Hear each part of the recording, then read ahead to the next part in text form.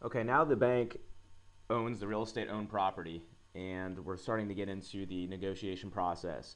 This is where the bank is now going to, on their end, negotiate with tax authorities, any liens, uh, handle evictions if that's necessary for the property. Typically, they're not going to really do repairs. Maybe that would be involved as well. Uh, again, that's probably not going to be the case.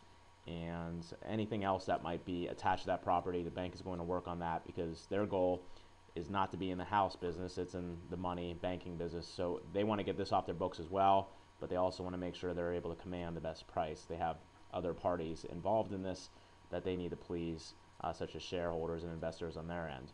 So um, once buyers begin to have the opportunity to view this property and make offers, they will have that opportunity to inspect, and this is highly recommended because typically there will be things that need to be repaired.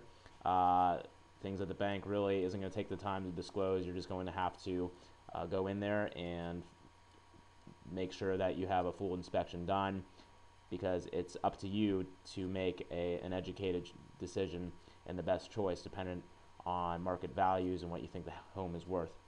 And this is where the negotiation phase will begin with the bank. Once you put down an offer or a buyer and multiple buyers put down offers, uh, typically, the bank will renegotiate that. Uh, they'll counteroffer essentially. So you'll put down what you think the home is worth, and typically the bank is going to uh, come a little higher, probably much higher than you expect, and it'll be almost formulated every month. Uh, the price will begin to drop, and over time, uh, that price will continue to come down until a buyer and the bank are able to meet at a point that satisfies both sides.